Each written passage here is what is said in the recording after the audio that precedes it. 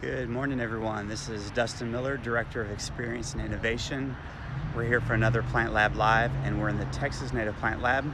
So, welcome to those of you just joining. We're going to give people a few minutes to get in here. I'll give another introduction, we'll get going. So, while we're waiting, we'll just take a quick look at some of the plants that we're going to talk about today. Thanks, Eat Style Dallas. We are as well. So again, to those of you just joining, this is Native Plant Lab Live. We're actually in the Texas Native Plant Lab, which is pretty close to Garland Road, so I apologize for the road, road noise, but I'll make sure to keep this mic close to me today. Giving people just a few more minutes to hop in here, and then we're gonna get started.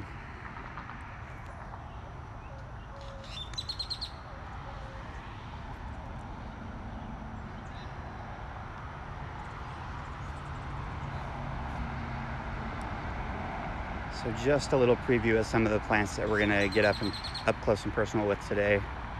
If you see something here that you know, feel free to hop on and we'll definitely visit all of these amazing plants that I'm previewing here. So once again, my name is Dustin Miller. I'm Director of Experience Innovation. We're here for another Plant Lab Live, and we're actually in the Texas Native Plant Lab, which is our teaching space here in the main garden uh, that is for our education program and if you don't recognize where we're at, I'm gonna take you over here and show you so visually you can see. We're actually at the old entrance to the DeGolyer estate.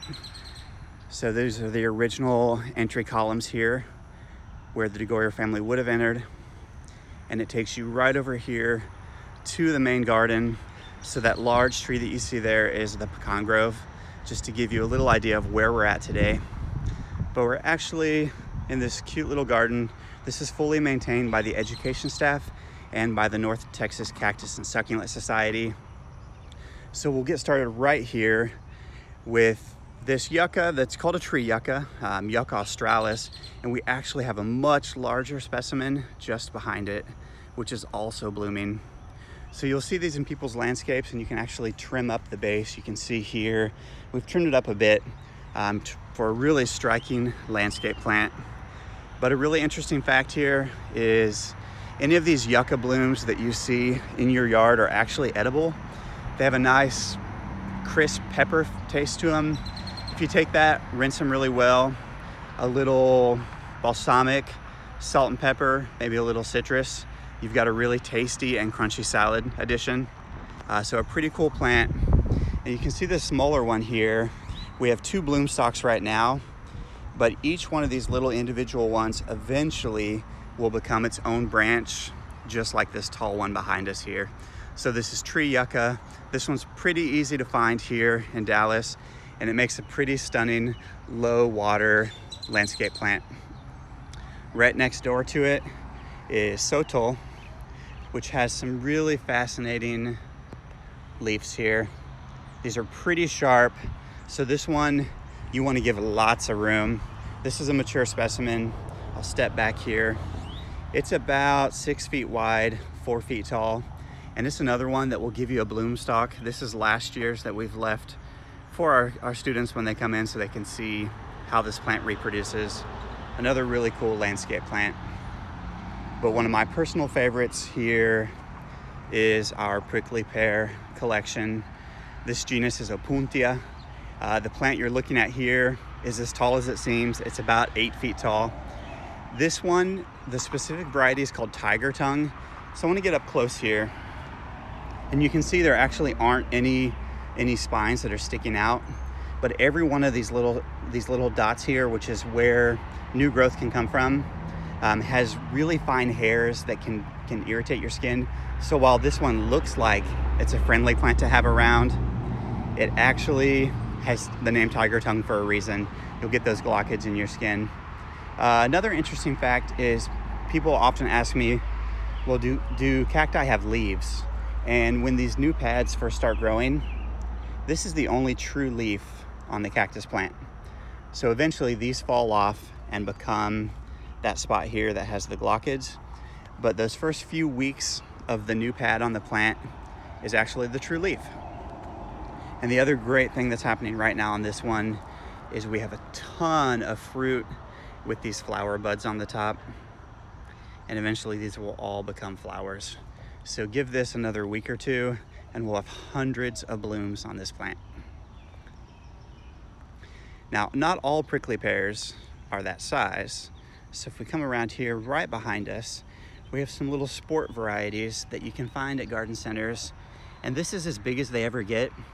So if you're looking for that low water plant, but you want it in your landscape to not block other things, there's lots of little sport varieties. Oh, and I see a friend, so we're gonna zoom in here and take a look at this green anole and see if he sticks around for us. And there he goes. So again, these are some interesting little prickly pears that really give you some unique color. And the blooms on these range from orange and yellow and purple and red. Um, you get all kinds of different colors. In the field behind this, we have autumn sage or salvia. Great hummingbird plant, quickly spreads, definitely drought tolerant once it's established. And this one comes in all different colors as well. And you can see not just hummingbirds, but we've got some bumblebees this morning just loving the nectar.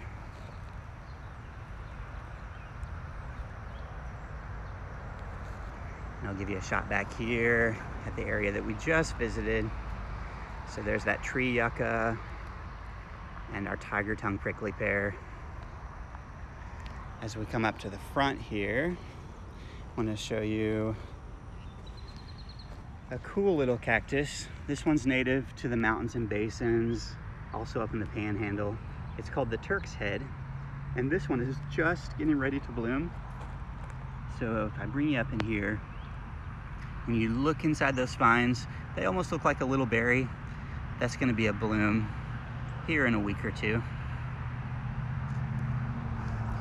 So we have our succulents and cactus in this garden.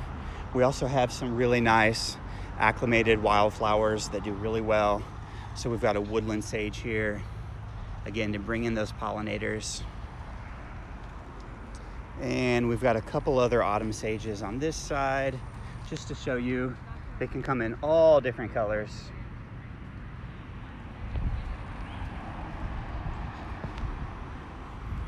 And I apologize if I'm not getting to your questions. Our feed is freezing up on me again today.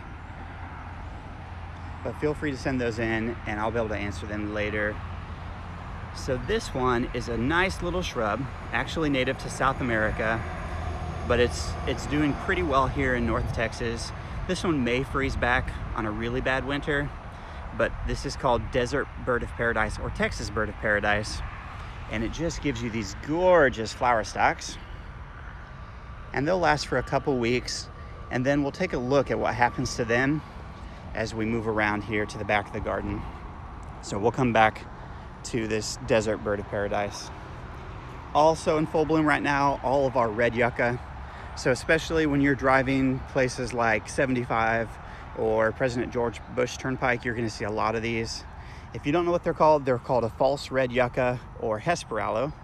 Um, these are succulent, they're native to here in Texas. Um, again, hummingbirds, bees, love these plants and they give you some really impressive flower stalks. So this is the pretty standard one you're gonna see, but we've got night blooming, which will be about 10 feet tall. And you can see that this one is getting lots of pollinator action this morning. So we'll just pause here for a little bit and let you enjoy that. Now these bloom stalks are gonna last you all the way through summer and into fall and give you color much of the growing season. And then they get some really interesting seed pods at the end. All right, we're gonna make our way over to a blooming tree right now and then we'll take a look at that other desert bird of paradise. And then at the end of this, I've got a big show for you, but I'm trying to keep it hidden until we get there. All right, so we've come around the back side of that large tiger tongue. And this tree that you see here is kind of in the peak of glory right now. This is a golden ball lead tree, golden ball lead tree. Again, this one is Texas native. It's from the mountain and basin region of West Texas. And it gets these really beautiful little puffy pom-poms in yellow. So because it's from that region, it's a pretty scrubby tree. gives you lots of light through it. Looks great in a low water environment. And this is about as big as it's gonna get. So this one is about 10 feet.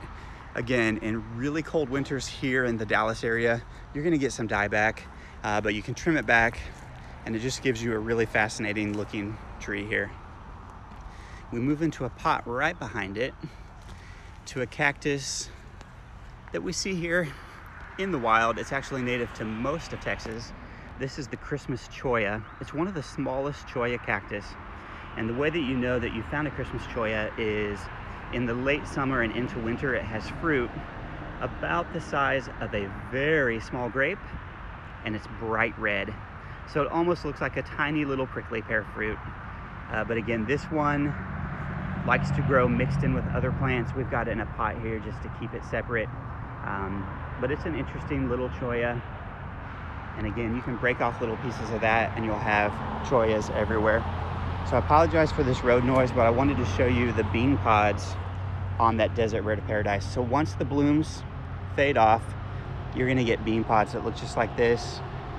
And I'll give you a shot here to show you kind of the size of this shrub. This is pretty much at its peak of size. So it makes a great little corner plant or if you have a nice open area with a desert landscape, a really fascinating plant with some bright color. Just behind that is where we have our wildflower garden, mostly blue mist flower, which just hasn't come into bloom yet. So once we get into later summer, our pollinators stick around and they head back here to the blue mist flower. All right, we're moving in over here to another cactus that's native to most regions of Texas. And this one just bloomed for us. This is the horse crippler cactus. Now the reason the plant has this name is through the dry season especially. It sinks down into the ground, it loses a lot of this size, and it gets hidden in the, in the scrub. So as people come through with their livestock on their horses, these cactus can give them a little startle. They don't expect these spines, and hence the name horse crippler cactus. It has beautiful pink blooms that will turn into bright red fruit. So you can see we had four blooms on this one that within a matter of weeks will turn into a fruit that almost tastes like a dragon fruit. Now we showed you the tree yuccas back behind. We have another little plant here that actually has fallen over but is quite happy where it's at, so we've left it to live just like that. As we pan across a few more agave, these are mountain agave, and honestly, these ones just a little too close together. When you plant agaves in your landscape, they may start small like this whale's tongue. They'll quickly grow in and become impossible to separate, which is what happened here.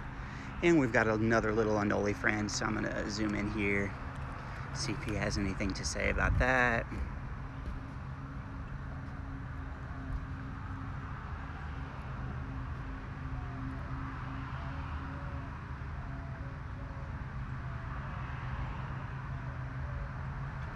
Oh.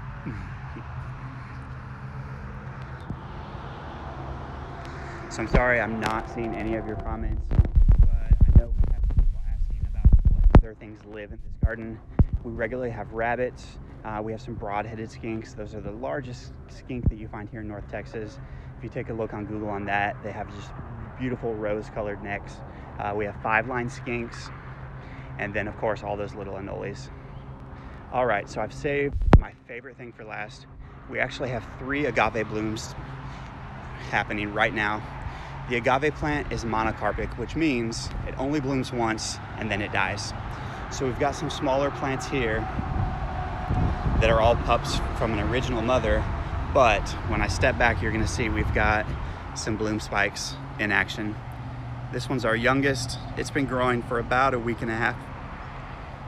As I pan over, this is another century plant, Agave Americana. And this one's already up to probably about 15 to 18 feet. But right now, we've got an agave montana in full bloom. So this bloom spike started only about three weeks ago. It can grow up to a foot a day. And then eventually it opens up and that asparagus looking bloom turns into this glorious inflorescence with tons of pollinator activity. I'm gonna zoom in here and see if anybody can see all those bees just flying around. Now these blooms are gonna last for a couple weeks, but the bloom spike itself can last for months. It'll dry out. Interesting fact, these bloom spikes in the Caribbean are actually used as Christmas trees. So once they dry out, people will cut them off, save them, and it becomes that winter Christmas tree. But right now it's home to hundreds and hundreds of bees flying in for nectar.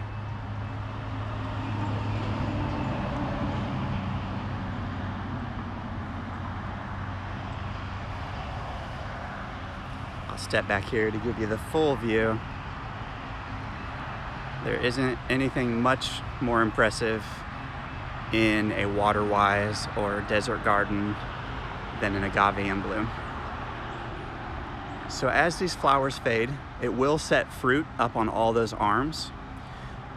And on, on occasion, it'll also make little plantlets, sort of like a spider plant in your house. And those plantlets you can put right in the ground and grow new babies, but also the plant will, will put off pups at the base. So I'll show you what those look like here on another agave. This agave is not currently blooming, but you can take a look and see what happens. So we've moved over. This is the thorn-crested agave, agave lophantha. And originally this started most likely as one mother plant. And now we have all these pups just growing everywhere. Again, this is a spiky job if you want to separate them, but you can definitely pull out the pups and move them to another place. We've removed pups from this at least once a year for the last four years. And there goes another agave friend. So again, this started out as one single plant and has just grown into a massive mound that we continue to scale back. So we're just gonna take one last little glimpse here across the Native Plant Lab and give you a view of our education space here in the main garden. Once again, this is the Texas Native Plant Lab. If you're here on a visit during regular opening hours, you can normally get back here. But right now, it's a pretty amazing space for pollinators.